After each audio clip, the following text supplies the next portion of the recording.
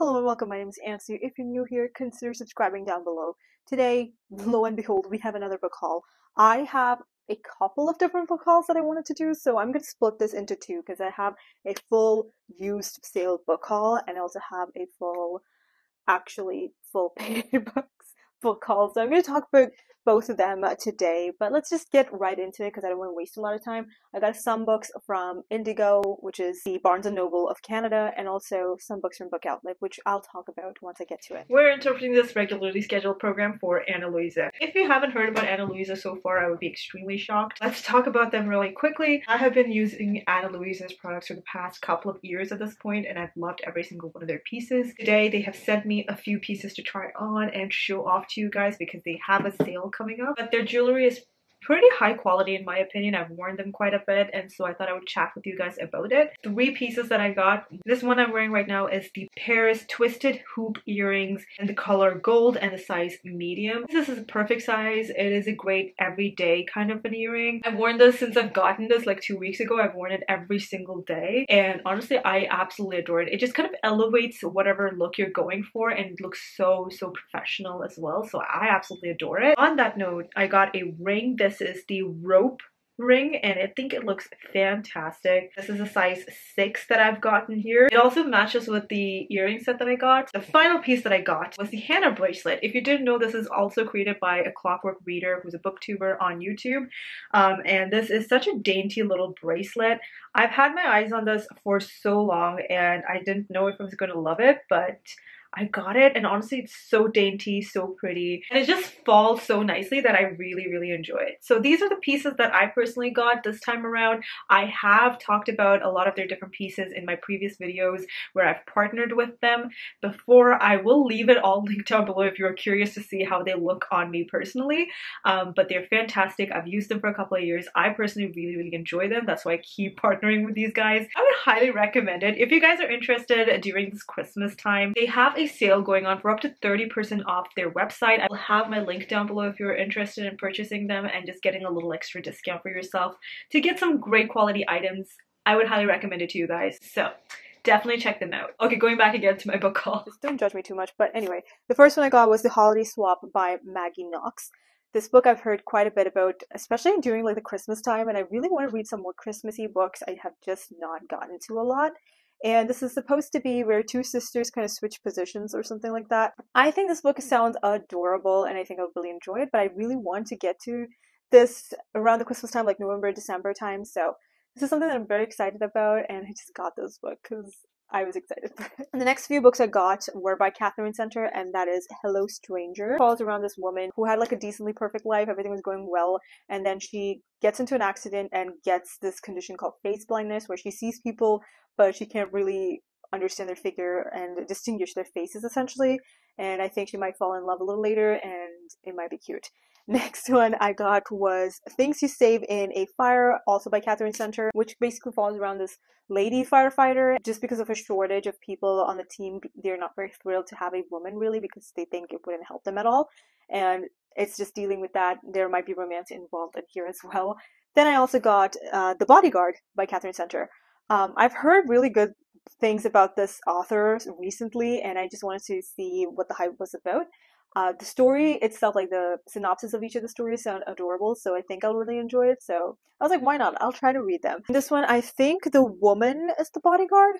It seems like it, at least from the synopsis, and the guy is like a ultra famous dude and uh, they're protecting each other. So I got three of these Katherine Center books, which I'm really excited to get to, and I'm so glad I got these. As I mentioned, I was getting books from Book Outlet. This is the first time though that I had so many stickers on these books and I peeled them off, but this is still like a sticky residue, which is really annoying to me. I've never had that problem before, but since the book outlet store closed, I feel like this is when when they got a lot more books on hand for some reason. They have a lot of stickers on these books now, and it's really annoying. Next up, I got Reggie and Delilah's of Falling by Elise Bryant. I have two other books by the same author, so I was curious to also get this one. This one follows around these two characters who are stark opposites, but they keep running into each other's paths every single holiday season. So New York, New York, New Year's Day, Valentine's Day, St. Patrick's Day. So they just keep running into each other, and even though they don't have anything in common, it's like the universe is pushing them against each other. I think it's supposed to be very cute, and I'm pretty sure it's also a YA. I'm curious to see like how much I'll enjoy this one because YA romances they're kind of adorable, so I'd really like to know what they would be. The next one I got is Vespertine by Margaret Rogerson. This one I heard wonderful things about from Mel from Mel Reads, and I was very curious to see what I would think about this one as well.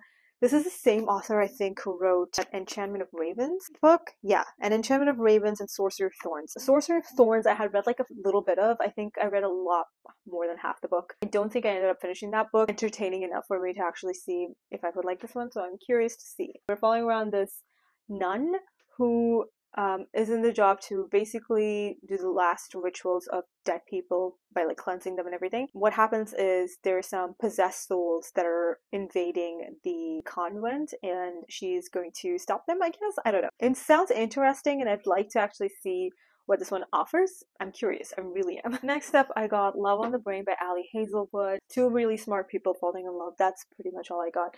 But Ali Hazelwood is a very popular romance author, and I've never really read anything that she has put out, so I'm very, very interested to see what this book is about. But I got The Housemaid by Freida McFadden. I've heard so many great things about this.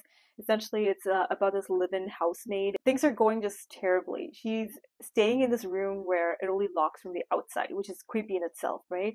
And it just goes from there. I've heard such great things about this book, and I really am looking forward to it just to see how messed up this is. I would love to know.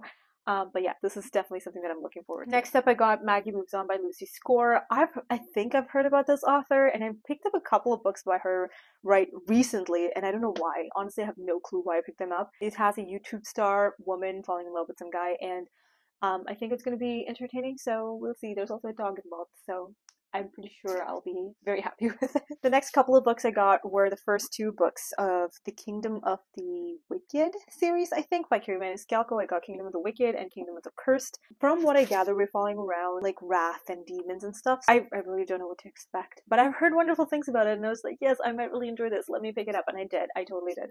I'm waiting for the paperback version of the third book as well because otherwise it doesn't finish the set, you know? I think there's more books in that series, but I'm curious to know. I've read um I think it was Stalking Jack the Ripper, like the first book in that series, and I fairly enjoyed it, but I didn't finish the entire series. So I'm definitely looking forward to this one to see like how this one goes down. The next one I got was Every Summer After by Carley Fortune. This author also I've heard really wonderful things about, and Emily Henry has written a waiting debut on this book as well, so I'm very curious. Lily says six summers to fall in love, one moment to fall apart, a weekend to get it right. And I feel like it's just like a love lost coming together kind of a situation, and I'm, I think I would really enjoy it. It's most likely going to break my heart as well in between, but also mend it right up because they have to fix it, right? And I'm just very excited to see how this one will go down. Another book that I got was Anatomy, a Love Story by Dana Schwartz. I've heard a few people talk about, and honestly, look at the cover. It's honestly so beautiful. A heart, but also there's a woman inside here, so it's like a dress as well. It's so cool. From what I understand is we have this woman in the olden days, and she's technically not supposed to learn about medicine. She does not get chosen to go and learn in a college or whatever. She ends up working with someone and digging up like corpses to work on and learn about body parts and stuff. And um, it's very interesting. I think there's like a romance as well, and I am very, very intrigued by synopsis of the story. That is beautiful. That is fucking beautiful. Um, yeah, I'm just very intrigued by the synopsis of the story, and I would really love to know like what happens. It is a duology, and I'm just very excited to get to this one. Next up, I actually got a book which I think will be in a vlog. Um, essentially it was like a mystery book that I got from Chapters or Indigo. Um, this one is A Tap on the Window by Lyndon Barclay. I got it for like four bucks, and literally, I think it's a, like a mystery with a detective who falls around this private investigator whose life is kind of uprooted, and he ends up helping some little girl um, who was trying to like hitchhike, and things go completely south from there for him. And it sounds really interesting. And Lyndon Barclay is a Canadian author. I have read a couple of his books, and I'm very curious to know what this one is about. Did he sign this? It looks like a signature, right? I, I think so. Yeah, I didn't realize that, but I'm intrigued to know what this book is about. Um, it was only four bucks, so I'm happy. I also got Fourth Wing by Rebecca Yarros. I have started reading this book uh, on audio and I was getting pretty entertained by it. It's honestly just a young adult kind of nonsense type of a book. There's no uh, rhyme or reason to people loving this, really. It's not the greatest work of art, but it is super entertaining. At least a few chapters that I ended up reading, I had such a grand time reading it.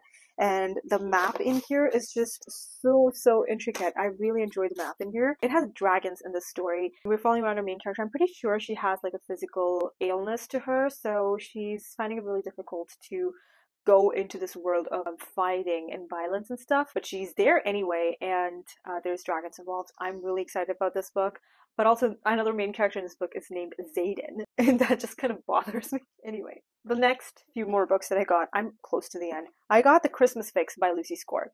This one, again, just because it said Christmas and I just needed a couple of Christmas reads, I grabbed this one. Again, I'm not too sure if the authors are great. I've never tried any books by this author, but whatever. I'm gonna give it a shot anyway. This one follows around like a reality TV star and renovation expert, and also a single dad and their romance situation. And I'm very, very intrigued by it. But honestly, I just picked this up because it was fairly new, and also it said Christmas on it. That's it. No other reason. The next book that I got was The Seven Year Slip by Ashley Poston. This one I heard so many wonderful things about, especially this author and this particular book as well um, you just have to have that sense of anything is possible. Essentially, in this one particular apartment, something happens and there's a seven years difference that happens, and we're in like a completely different timeline. It's a time jump. I think this is going to be very entertaining, but I'm very interested in this book. Um, I've heard lovely, lovely things about it. The last two books I'm technically still reading.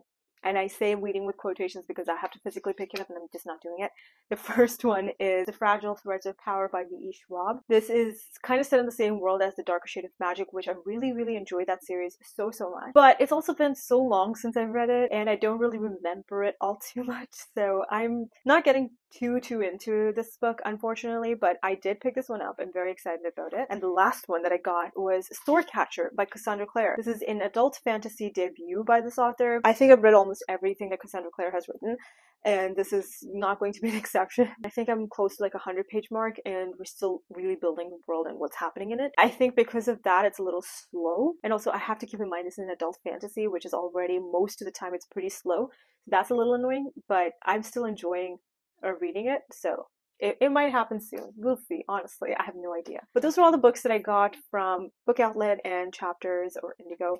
And it's a lot, but I'm very excited about every single one of them. But that's it. I should stop rambling. I'm tired and like I give up. Honestly, at this point, I'm tired. And just a quick reminder to check out Ana Luisa. I have my link down below, so definitely check it out during this holiday season. I think you guys will really enjoy it. If you're new here, hi, welcome. My name is Ansu. Hit that subscribe button and the notification bell to be notified every single time I upload a new video.